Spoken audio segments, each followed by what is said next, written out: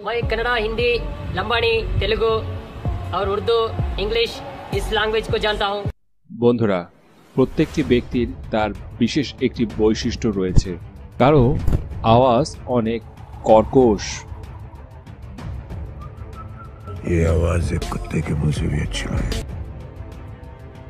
কেউ আবার অনেক স্টাইলিশ আবার কেউ কেউ নিজের কান নড়াতে পারেন কিন্তু আপনি কি এরকম কোনো ব্যক্তিকে দেখেছেন যার মধ্যে সুপার হিরোর মতন ক্ষমতা রয়েছে? যদি আপনি দেখে না থাকেন, তাহলে চলুন আজকে আপনাকে দেখাবো অদ্ভুত ক্ষমতা সম্পন্ন যেমন সুপারম্যানের থাকে, ঠিক সেরকম ক্ষমতা সম্পন্ন পাঁচজন ব্যক্তিকে।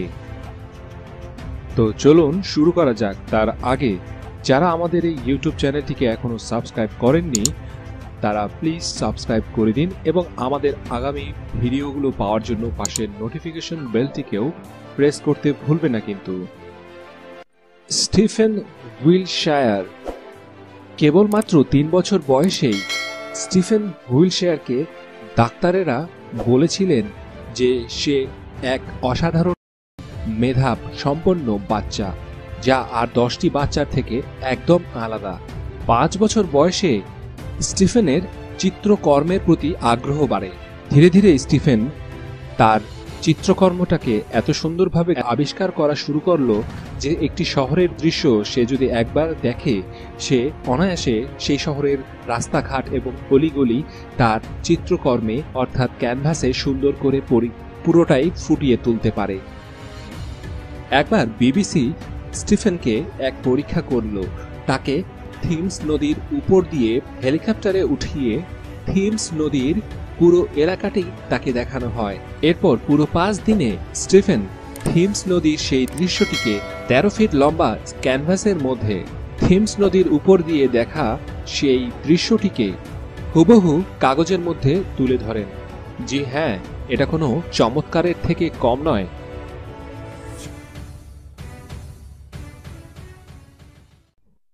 রাজমোহন নায়ার, যাকে আবার কারেন্ট নায়ার বলেও ডাকা হয়। ইনি প্রমাণ করে দেখিয়েছেন যে তার শরীরে অন্য সাধারণ ব্যক্তির তুলনায় কারেন্টের বা বিদ্যুতের তার কোনো প্রকার বড় ক্ষতি হয় না। সাধারণ মানুষের তুলনায় তার বড় আকারের বিদ্যুৎ সহন করার মতন ক্ষমতা রয়েছে। রাজমোহন বলেন, যখন তিনি সাত বছর বয়সী ছিলেন, তখন তার মায়ের মৃত্যু হয়ে যায়। অনেক কষ্টে, দুঃখে সে সিদ্ধান্ত নেয় যে সে সুইসাইড করবে। আর সেই আত্মহত্যা করার জন্য সে একটি ট্রান্সফরমারে উঠে পড়ে এবং বিদ্যুৎ প্রবাহিত সেই তারগুলোকে ধরে ফেলেন। ধরার পর তার কোনো রকমের বিদ্যুৎ বিদ্যুৎ প্রবাহিত সেই তারগুলো তার গায়ের উপর কোনো রকম প্রভাবই ফেলল না। আর সাধারণ মানুষেরা সেক্ষেত্রে অবশ্যই তাদের মিত অবধারিত ছিল। এরপরই রাজমোহন বিশ্বাস করলেন যে ঈশ্বর তাকে এক অসাধারণ ক্ষমতা দিয়েছেন। রাজমোহনের শরীরে অনেক বিজ্ঞানীরা বা সায়েন্টিস্টরা পরীক্ষা করেছেন, কিন্তু তারপরও তারা বুঝে উঠতে পারেননি যে রাজমোহনের শরীরে কেন কোনো প্রকার বিদ্যুতের ঝাটকা লাগে না। যে কোনো রকমের ক্ষমতা সম্পন্ন বিদ্যুৎ সে নিজেকে এবং নিজের শরীরের ভিতর দিয়ে সে প্রবাহিত করতে পারেন তাতে তার কোনো প্রকার ক্ষতি হয় না।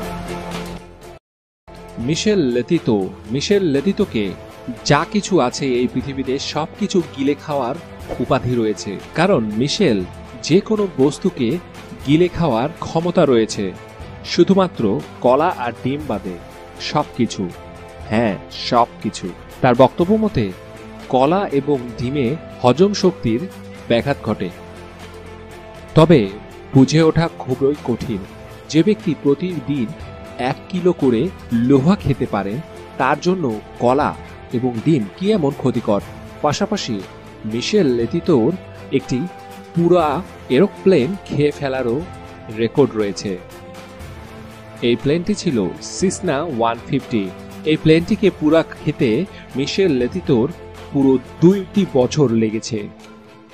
ডক্টরদের মতামত অনুযায়ী মিশেল লেতিতোর অন্ত্রে, অর্থাৎ পেটের ভিতরের চামড়াগুলো, তুলনামূলক অনেক বেশি মোটা হওয়ার কারণে মিশেল লেতিতো অনায়াসে গিলে ফেলতে পারেন লোহা বা যা কিছু আছে তার সামনে সবই গিলে ফেলেন। হাসনা মোহাম্মদ মি সালমানি, হলিউড মুভি এক্সম্যানে একজন এমনই মিউটনকে দেখেছেন নিশ্চয়ই। যিনি নিজেকে ডায়মন্ডে রূপান্তরিত করেন। হাসনা মোহাম্মদের কাছে ঠিক এরকমই কিছু শক্তি রয়েছে। তবে হাসনা নিজেকে সম্পূর্ণ ডায়মন্ডে রূপান্তরিত করতে পারেন না, কিন্তু ডায়মন্ড না বের হলেও হাসনা মোহাম্মদের চোখ দিয়ে ক্রিস্টাল বের হয়ে আসে। জি হ্যাঁ আসল ক্রিস্টাল, যা সঠিকভাবে পরীক্ষা নিরীক্ষাও করা হয়েছে। প্রথম উনিশশো ছিয়ানব্বই সালে হাসনা তার স্কুল টিচারের কাছে বলেন যে তার বাম চোখ দিয়ে ক্রিস্টালের মতো কি যেন বের হচ্ছে। এরপর হাসনা বাড়িতে এসে তার প্যারেন্টসকে এর ব্যাপারে অবগত করে। প্যারেন্টসদের সামনেও হাসনার ক্রিস্টাল বের হওয়া দেখতে পাওয়া যায়। হাসনার চোখ দিয়ে ক্রিস্টাল বের হতে দেখতে পাওয়া যায়। এরপর হাসনাকে হাসপাতালে নিয়ে যায় অ্যাডমিট করা হয়। সেখানকার ডাক্তাররা সঠিক বুঝে উঠতে পারছিল না হাসনার চোখ দিয়ে এসব কি ঘটছে। তবে জানিয়ে রাখি যে হাসনার চোখ দিয়ে এগুলো বের হওয়ার সময় কোনো রকমের ব্যথা বা ক্ষতি হয় না। কারণ এগুলো যখন বের হয় তখন অনেক নরম থাকে এবং বাইরে আসার পরপরই তা শক্ত হয়ে যায়। এখন এই চাইনিজ ব্যক্তিটির সাথে পরিচিত হন। যার মধ্যে অদ্ভুত এক ধরনের ক্ষমতা রয়েছে। এই ব্যক্তিটি তার নাক দিয়ে টায়ারকে ফুলিয়ে বড় করে তুলতে পারেন। তাও আবার কারেন্টের গতিতে। নি ইয়ং বিং, এই নি ইয়ং বিং মাত্র ২০ মিনিটে চারটি টায়ারকে ফুলিয়ে এক অনন্য রেকর্ড করেন। সেটাও কিন্তু নাক দিয়েই।